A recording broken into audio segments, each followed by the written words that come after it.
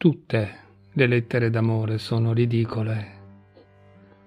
Non sarebbero lettere d'amore se non fossero ridicole.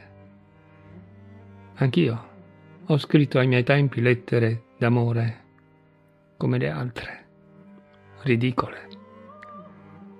Le lettere d'amore, se c'è l'amore, devono essere ridicole.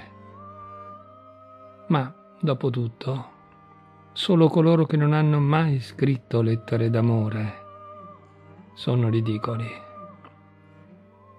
Magari fosse ancora il tempo in cui scrivevo senza accorgermene lettere d'amore ridicole. La verità è che oggi sono i miei ricordi di quelle lettere a essere ridicoli. Tutte le parole sdrucciole, come tutti i sentimenti sdruccioli, sono naturalmente ridicole.